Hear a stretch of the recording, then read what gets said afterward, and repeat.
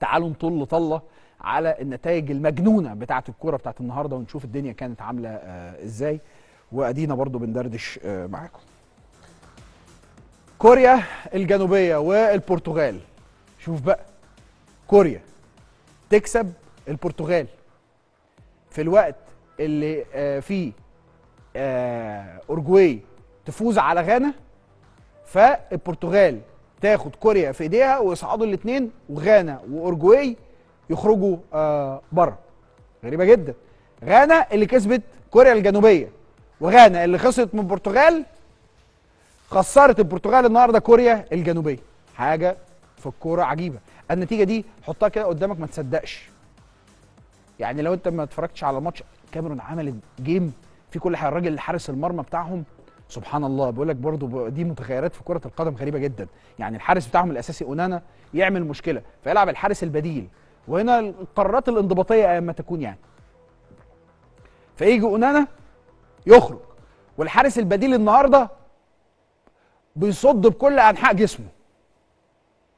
فكرنا بعصام الحضري. في وقت من الأوقات عصام الحضري جنن كان دروجبا مثلا في بطولة الأمم الإفريقية. يحط له الكرة في وشه كده يعملها له من تحت العارضة تلاقيه تحت العارضة تحت القايم تحت القايم. الراجل النهارده الجول بتاع الكاميرون بيعمل كل حاجة بيعمل كل حاجة تحت التل... عفريت. بيعمل كل حاجة تحت الثلاث خشبات. بتفرق.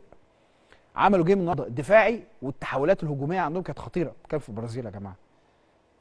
البرازيل أنا والله العظيم قدامي النتيجة. أنا إحنا أنا بتفرج على الماتش لحد آخر آخر لحظة. فاللي هو وأنا داخل الاستوديو صوت القناه كلها كاميرونيين غالبا يعني. فشفت ال- الجول في آخر لحظة من من المباراة. ال- ال- ال- العظمة ال- التوقيت نفسه بتاع الهدف والعظمة إنه الكاميرون ما رمتش الفوطة.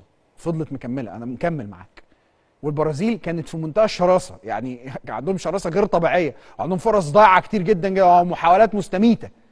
لكن هي الكوره كده.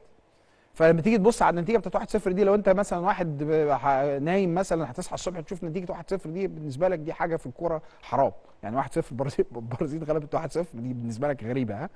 بس لما تشوف ال... ترجع بقى تشوف شوية حتى من الماتش تعرف إن الكاميرون عملت جيم قوي.